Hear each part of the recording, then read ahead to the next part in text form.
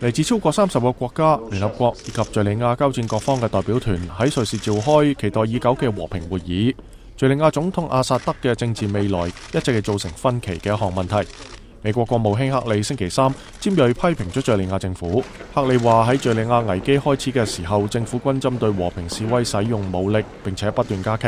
佢話由於敘利亞政府同反對派喺阿薩德何去何從嘅問題上有分歧。一個經過雙方同意組建嘅過渡政府唔能夠有佢嘅位置。克里話根本唔能夠想像一個殘忍對付本國人民嘅人能夠重新獲得執政嘅合法性。敘利亞外長穆亞里姆對克里話：只有敘利亞人先至有權選擇佢哋嘅總統。